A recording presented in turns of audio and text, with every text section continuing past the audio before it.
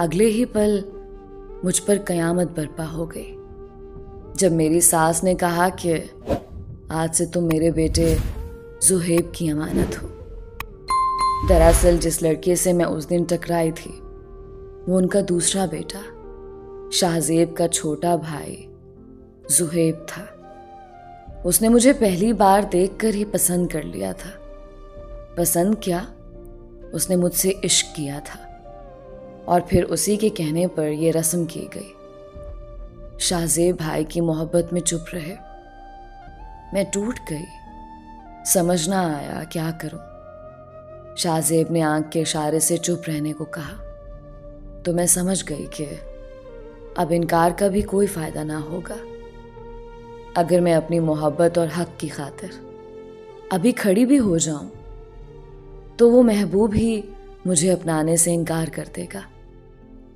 पल में खुशियाँ बर्बाद हो गई। मैं बेजान मूर्त बन गई।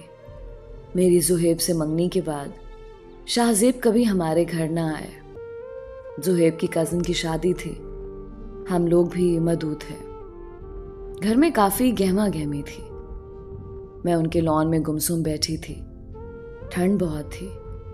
मगर मुझे उसकी परवाह न थी। अचानक मुझ पर किसी ने पीछे से गर्म जैकेट डाल दी। मैंने चौंक कर देखा तो वो जुहेब था। उसकी शक्ल देखते ही मुझे गुस्सा आने लगता था।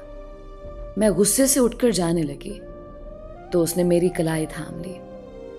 मैंने छुड़ानी चाही तो उसने मुझको खींच के खुद के करीब किया, जिससे मैं उसके कुशादा सीने से जा लगी। उसका चेहरा मेरे चेहरे के बिल्कुल नज़दीक था। हम दोनों एक दूसरे की आँखों में आँखें देख रहे थे। उसकी सांस तक मैं अपने चेहरे पर महसूस कर पा रही थी। एक पल के लिए वो मुझे बहुत भला लगा। उसकी इस बेबाकी ने मुझे अंदर तक झिंझोड़ दिया था। शाहजेब का अंदाज ऐसा बिल्कुल ना था। मगर वो बस एक पल ही था। मैंने गुस्से और नफरत से खुद को उसकी भावों से छुड़ाना चाहा, मगर उसकी गिरफ्त बहुत मज़बूत थी। मैं बेबस हो गई। वो मुसलसल मुझे तके जा रहा था। छोड़ दो मुझे। मैं गुस्से से बोली, अब और इंतज़ार नहीं होता। जल्द ही मेरी दुल्हन बनकर आ जाओ ना। जानती हो, मेरी बहुत ख्वाहिश है। तुम्हें अपनी दुल्हन बने देखना। वो शोखी से मुस्कुराया। फिर उसने मुझे आज़ाद कर दिया। मुझे वो जहर लगा। मैंने उसको खरी खरी सुना दी। मगर वो मुसलसल मुस्कुराता ही रहा। मैं वहाँ से चल दी, मगर उसके वजूद की महक अब तक मेरे अंग अंग में बसी थी। इतने करीब आज तक मेरे कोई ना हुआ था।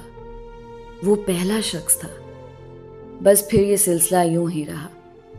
वो प्यार लुटाते नहीं थकता था, और मैं उसे जलील करते ना थकती।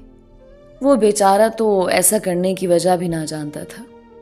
उसने मेरी हर बदतमीजी, हर बदसलूकी का जवाब, बस नरमी और मोहब्बत से दिया। मैं उन दिनों बहुत तकलीफ़ में थी। किस्मत का सारा गुस्सा उस पर उतार देती। छह माह यूँ ही गुजर गए। अब हमारी शादी की तारीख रखी जा चुकी थी। जुहेब तो खुशी से पागल थे उन दिनों, और मैं ज़िंदा लाश बन गई थी। अपने महबूब को सारी उम्र अब जेठ की शक्ल में देखना था। मैं बहुत दुआ करती थी कि कोई रास्ता पैदा हो जो मुझे और शाहजेब को एक कर दे। वक्त पर लगाकर उड़ता रहा और मैं जुहेब की दुल्हन बन गई। बारात बहुत धूमधाम से आई थी। बहुत शानदार बारात थी। कितनी चाहत से जुहेब मुझे ब्याने आया था। वो रात उसके अरमानों से सजी थी। उसका चेहरा तो चाँद की तरह दमक रहा था। मुस्कुराहट एक पल को भी चेहरे से गायब ना हुई। आखिर हमारा निकाह हो गया। अब मैं पूरी तरह से जुहेब की हो गई। अब तो मुझ पर सिर्फ़ और सिर्फ़ उसका हक था। यहाँ तक कि मेरे ख्यालों पर भी। अपनी बेबसी पर मैं खून के आँसू रो रही थी। वक्त रुखसत आ गया। मैंने इरादा कर लिया, मैं अब भी शाहजेब की जगह किसी को ना दूँगी। मुझे उस पल जुहेब के वजूद से नफरत महसूस होने लगी। उम्र भर मैंने उसको इस नफरत की आग में जलाने का फैसला कर लिया।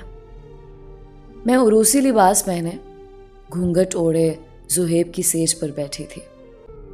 कुछ ही देर में दरवाज़ा खुला और मेरी सास जुहेब की फुफो बुखलाई हुई सी। कमरे में दाखिल हुई। सुनो बेटा, जुहेब की कार का एक्सीडेंट हो गया है। वो बहुत जख्मी है, मगर वो हॉस्पिटल ना जाने की जिद बच्चों की तरह कर रहा है। हमने पूरी कोशिश की, मगर वो बिल्कुल ना बोलता है। जैसा सब कुछ चल रहा था, वैसा ही होना चाहिए।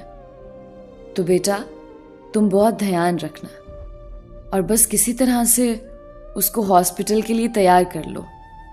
फ़िलहाल तो हमने उसकी बात रख ली है और होश में है। खतरे की कोई बात नहीं, परेशान ना होना बच्चे। ठीक है ना? ये बोलकर वो चली गई, मगर मैंने जितना सुना, मुझ पर बिजली गिरा गई। कुछ देर बाद कमरे का दरवाज़ा एक बार फिर खुला। जुहेब अंदर दाखिल हुए थे। उनका बदन जगह जगह से जख्मी था और खून रिस रहा था। नीली शेरवानी खून खून हो गई थी। चोटें मामूली ना थीं। मैं बहुत परेशान हुई, मगर ज़ाहिर ना किया और बेरुखी से बैठी रही। वो बेड पर करीब आकर बैठ गए। तकलीफ़ से चेहरा सुर्ख हो रहा था। उनकी दो पसलियाँ भी टूटी हुई थी। मगर मैं इस बात से बेखबर थी। हमारी बेगम से सबर नहीं हुआ क्या? घूंघट खुद ही उठा लिया। वो हंसपे आदत गहरी मुस्कुराहट के साथ बोले, मैं आपकी बेगम नहीं हूँ। ये बात जहन नशी कर ले। मैं गुस्से से बोली, वो हमेशा की तरह हंस दिए थे। अच्छा निकाह किया है तुमसे मैंने बेगम। वो बगौर मेरे चेहरे का जायजा लेते हुए मुझे सताने के अंदाज से बोले। मैंने उनकी तरफ़ जब नज़र उठाकर देखा तो महसूस हुआ, वो खासी तकलीफ़ में थे। आप आराम करें, ज़्यादा बात करना आपके लिए ठीक नहीं है। इस वक्त लेट जाएँ, सुहेब।